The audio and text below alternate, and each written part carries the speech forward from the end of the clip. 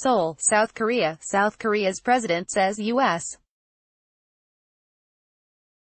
President Donald Trump told him he has a very friendly view of North Korean leader Kim Jong-un and wants to grant his wishes if he denuclearizes. North Korea has sought security guarantees from the U.S. and relief from international sanctions. President Moon Jae-in's office quoted Moon as saying that Trump asked him to convey those messages to the North Korean leader if he visits Seoul this year as he promised. Moon spoke to reporters on Saturday aboard his presidential plane en route to New Zealand from Argentina, where he met Trump on the sidelines of a Group of 20 Nations summit. President Trump asked me to forward to Kim these messages. He has a very friendly view of Chairman Kim Jong-un and likes him. He hopes to fully carry out the remaining agreements from their June summit in Singapore, together with him so that he will make Chairman Kim Jong-un get what he wants, Moon said.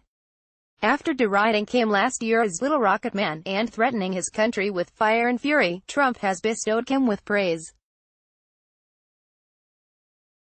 In September, Trump called Kim very open and terrific and said he and Kim fell in love in this photo released Monday. Dec.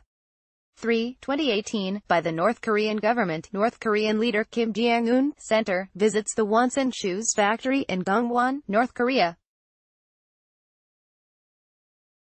South Korea's President Moon Jae-in says U.S. President Donald Trump told him he has a very friendly view of North Korean leader Kim Jong-un and wants to grant his wishes if he denuclearizes.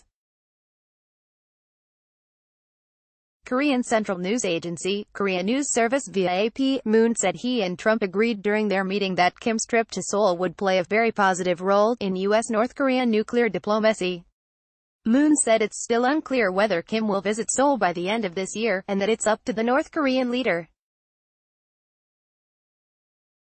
Moon, who has facilitated a series of high-level talks between the United States and North Korea including the Trump-Kim summit, has met Kim three times this year. After their third meeting in Pyongyang, North Korea's capital, in September, Moon said Kim agreed to make a reciprocal visit to Seoul this year. Their two previous summits were held at the country's shared border village of Panmunjom. If Kim, a third-generation hereditary ruler, visits Seoul, he would be the first North Korean leader to do so since the end of the 1950-53 Korean War. Moon said a visit would convey Kim's commitment to nuclear disarmament, better inter-Korean relations and world peace.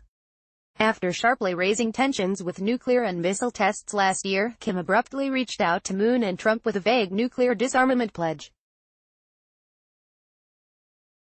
Subsequent nuclear diplomacy hasn't made headway since the U.S.-North Korea summit in June.